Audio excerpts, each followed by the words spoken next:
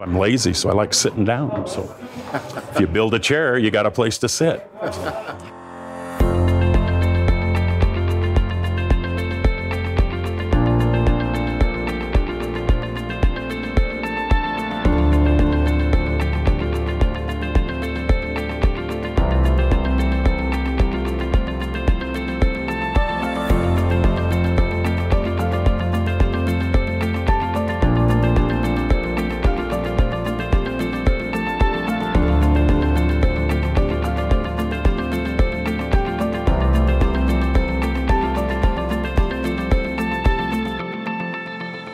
Here at the Windsor Chair Shop where we're going to learn about how to make a chair. You know, chairs are interesting. Sometimes they denote power, as in the chair of a board. Sometimes it denotes um, missing someone, as in Broadway singing about empty chairs.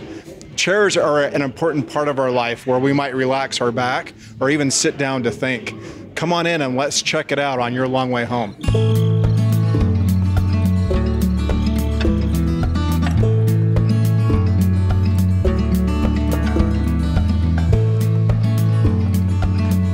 Chairs. Why chairs? You know, I guess the easiest of that is I was, oh, probably, you know, I've done woodworking my whole life. I always liked doing it, but about 15 years ago, I was looking to do a present for my wife for Christmas. And I found a picture of a chair in a magazine.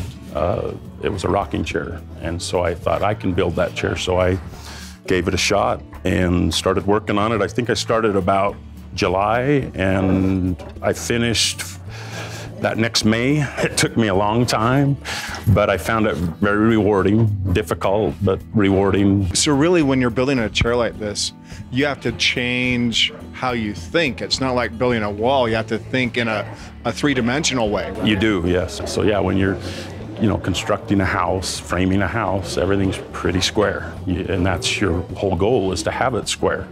You don't want it out of square. It takes away from the strength and stuff. When you start building chairs and stuff, uh, you have to look at both. You got to look at strength and the fact that nothing's square. And so you got to figure out ways to make it strong, but yet uh, also not be square. So there's and there's tricks to that. How do you keep the strength? Well, if you know, when with the new power tools we have, you just cut right through anything. It'll cut through, and the tool doesn't know. But the way you keep strength is you want to uh, follow the grain, follow that grain the tree was growing in, and that's where the tree has its strength. And so, rather than cutting through it, if you can split the wood, then you're going to get the straightest board you can find. It's going to be straight up and down. For example, the oak tree is always known as the mighty oak, the, the strong oak tree. Um, the oak happens to be the ones that they like to build the top part of Windsor chairs with because the oak tree will bend really easily. It can be manipulated that, but it'll keep its strength after you bend it. Those fibers will just bend, you know, with a little bit of heat, and then just bend them around there, allow, allow it to dry.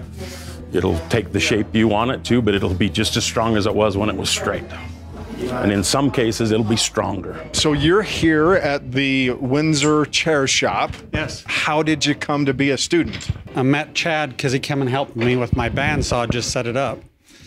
And we got talking, and I looked at his website, and this Maloof rocking chair was just, it was just awesome. And once I saw it, well, I thought I've got to make one of those. Can you show us how you might split some wood?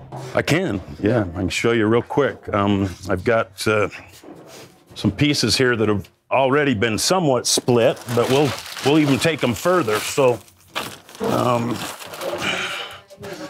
this this is a piece of red oak, and this is still quite green. Even though I got it about a year ago, what I do with it is when I get it, I put it in a freezer and then it stays green. I just have to pull it out. So last night I knew you were coming, so I pulled it out. So this is still really green. I actually order these from back east. Back east has a lot better trees than we do here. You can find trees here that are good and straight, but a lot of our trees kind of grow crooked because of the winds and they're not a, they're not competing a lot. So whereas back east they're competing in the forces, so they go really straight, really tall. Just to give you an example, this chair here, this is a chair that was designed by a gentleman in Tennessee. His name is Curtis Buchanan. He calls this his democratic chair. The reason the term democratic is not political, it means for the people. And so this chair he designed to be able to be built with very few tools. You don't have to have a lathe to turn the legs. They're all done with a draw knife and a spoke shave. You can carve the seat with all hand tools. Using this chair as an example, what we're going to do, we got to be able to make these spindles right here, and you can see how t- they're quite thin right here, but they've still got to be strong. Right. So So, so just if you think about that, my brain says that can't be that strong. But just based upon what what, what we just said, splitting it maintains that strength, and it really is strong. Yeah, this one you can see the grain on that. That is very straight grained. When I split it, it'll follow that. Then, when I work it, what'll happen is, and after I get it in here, it's still a little green. It'll actually straighten itself out because it doesn't have anywhere else to go. It's something holding it here, something holding it down here.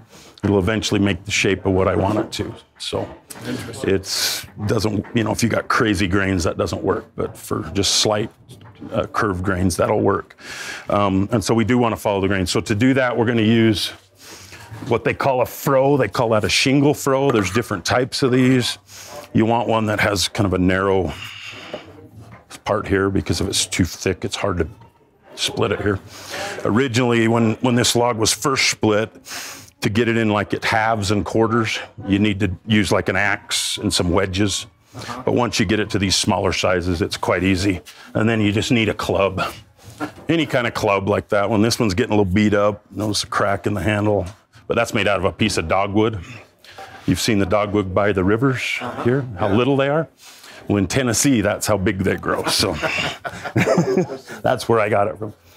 But what we'll do, and whenever you split a piece of wood, you're going to split it. You know, people say, where to split it? Well, split it right in half. So we're going to make four spindles out of this.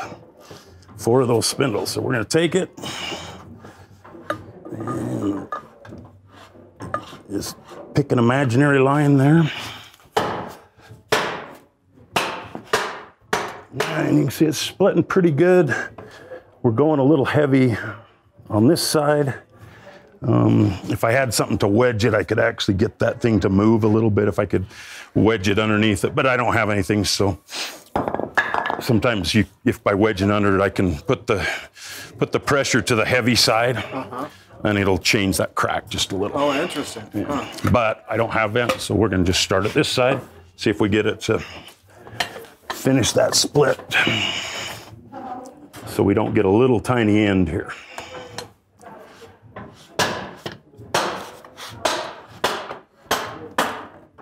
And now you see how that compensated right in the middle there. You see that? It just Yeah. left just a little bit. Okay, so now again, every time you split something, you're gonna split it in half. That's just the rule of thumb. Split it in half. It split it in half. Yeah, now that one got got away from me a little bit, so that might work, may not. When we trim that down, we might be able to get a spindle, but we may not. But we'll definitely be able to get one out of that one. Right. You can look at these, and they they sell online for about four thousand dollars uh, and up. And I always wondered why. And as I thought about it, you know, if you were to buy a, a couch or something like that, you know you're going to replace that in five years. This chair is an heirloom, and the reason you buy or it costs that much is something you're going to hand down for generations. So this is a solid chair. And this is a shaving horse. Yeah. This is. They have shaving horses. and They have a shaving pony, and the shaving pony is similar to this. Uh, the shaving pony sits on your workbench and uh, is just portable, whereas this is a lot less portable. So let me find the seat for that.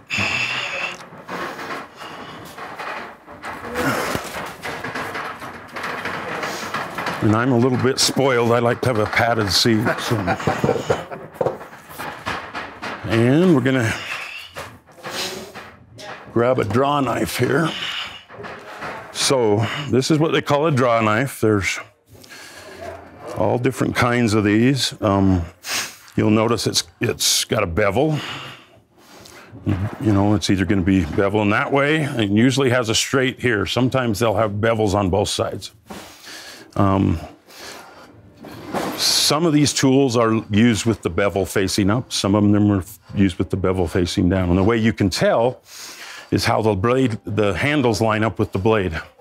If they line up with the blade straight, like this, that's a bevel down tool. So I would use that with the bevel part facing down into the work. Oh, I see. Yeah, If the- which is counterintuitive to what I would have thought. Exactly. So let me find you one that's a bevel. Hey, there's one that is a bevel up tool. So you can see the handles are not lining up with the blade, they're down just slightly.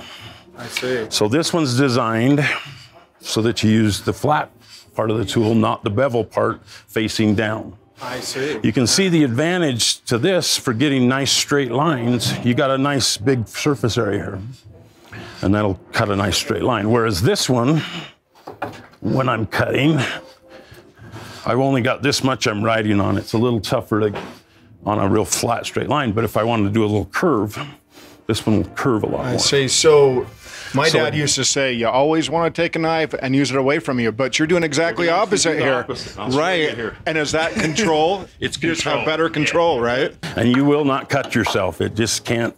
I mean, these are designed to not be able to cut you. Right, right. But there are some wider than that you could, but you'll never get your hands in here. Sure. You also have a whole lot more power pulling than you pushing. versus pushing forward. which is one sense, of one of the advantage. You know, the the Chinese and the Japanese. I think they must be smarter than us Western people because all of their tools work on the pull stroke, not the push stroke.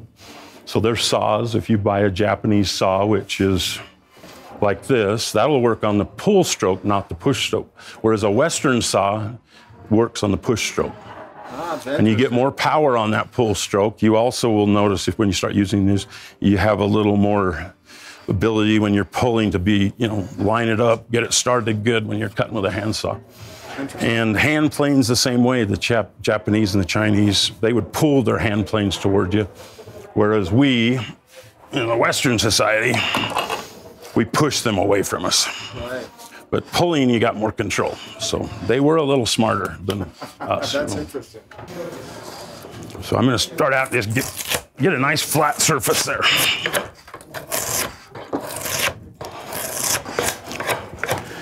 Okay, there's a flat edge. Now let's flip it. So, so in a world that rewards speed and efficiency and and other things, reconcile that for us. I mean, you're doing this the way that people have been doing this for hundreds of years. Right. A guy will never get rich doing this. Um, you can't compete with the chairs they sell at RC Willey's that are made in a factory. You just can't because, you know, a chair, one of these chairs takes me 40 to 50 hours. Um, so to make, you know, very good money, you're, but there's just something about the fact that uh, you're doing it by hand. I think a lot of, you know, you, I feel like a lot of my furniture, when I get done, there, a little part of me goes with it, whatever you want to call that. Your spirit, your, uh, but just part of you goes with that. And the fact that you did the work by hand rather than just punched a button on a machine and had it come out and cut all the parts. And I'm not against that. I've been able to use tools I've never used before. Uh, I've never used a spoke shave before, and I can say that that's probably one of my. I've enjoyed using this the most of the new tools that I've learned to use, and it's been a lot of fun, you know. And and then the chair's actually turning out, so that's that's nice. So you can see what happens as we we get to that point. We're going to shave it down to this point and just slowly refine. Once we get to about here, I'll bring in a spoke shave, which is exactly what it is. It was used for doing the spokes on wagon wheels. Again, it draws. Draws towards- toward you, so you would, you know, that one's pretty much about ready to fit in the chair. Final fitting, but this one isn't. So we could come in here and you.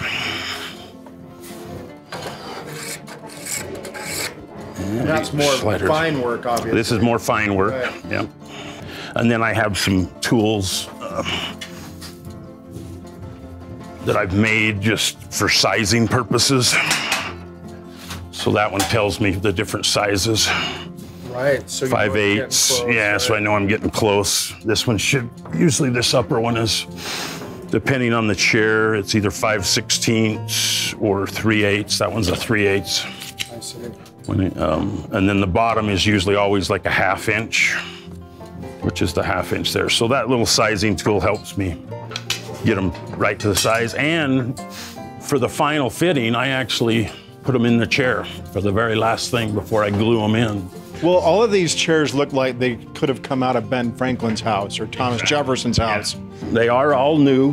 Um, they all have different names. People call them different things, but they're so this this one right here is called a bird cage chair, which kind of understandably it's got lots of little looks like a bird cage a little bit. That chair's a lot more difficult than it looks because the whole back is bent. When they're not straight, it's a little more difficult to get them coming up perfect. And so there's some tricks you have to do to do that. If I could do this as a living, I'd do it because I really like working with wood and it's a lot of fun. when you're doing something you've done over and over again, you know, at first you have to think about it. Pretty soon it just comes natural to you, and you do something about doing kind of whether you want to call it a menial task. You, you're able to think better. You, it does. It exercises your mind. There must be a chemical that takes off in your brain, and, and you're able to get a lot of thinking done. You know.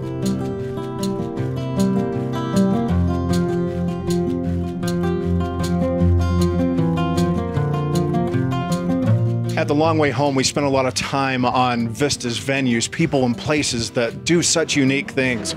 Artists like Chad of the Windsor Chair Shop taught us that sometimes wood wants to be what it wants to be, and allowing that to happen in an old fashioned way provides the mind a great opportunity to heal and to solve problems. The Long Way Home features a lot of great things where we can take those in. Thanks for joining us at The Long Way Home.